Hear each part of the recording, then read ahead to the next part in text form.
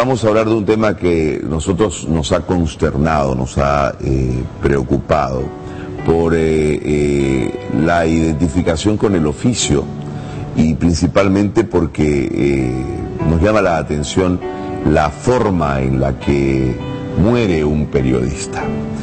El periodista Niño de Guzmán, jefe de prensa de Fides, fue encontrado muerto en una avenida. Las causas se investigan hay informaciones que eh, hablan de una eh, especie de tortura previa a la muerte.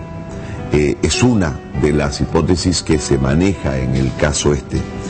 Y después la investigación está abierta. Hay una exigencia de parte de los periodistas para que se haga una investigación y se establezcan las causas en las que falleció este, este hombre de prensa. El señor Niño de Guzmán fue encontrado en la avenida Sabaneta en la ciudad de La Paz, ya sin vida. En momentos y lugares menos esperados, solo creo en Diosito está escrito en su Facebook.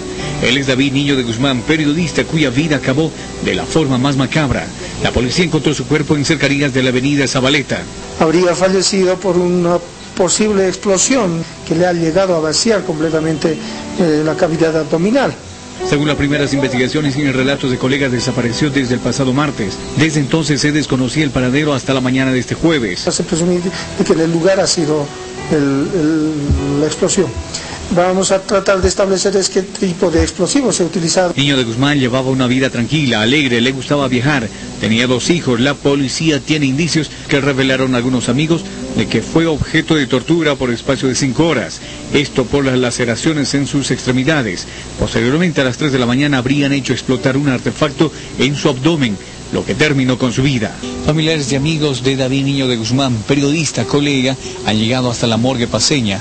Aún se desconocen los motivos por los cuales fue objeto de este horrendo crimen.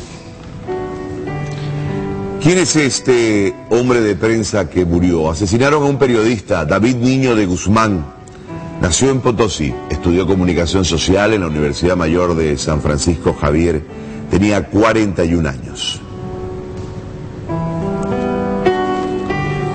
Era jefe de prensa de la agencia de noticias Fides. Trabajó en las redacciones de Presencia, Última Hora y El Diario, periódicos paseños. Su definición del periodismo, un trabajo y oficio apasionante. Vives la noticia y eres testigo de los hechos que caracterizan a Bolivia y el mundo. El periodismo hay que vivirlo día a día.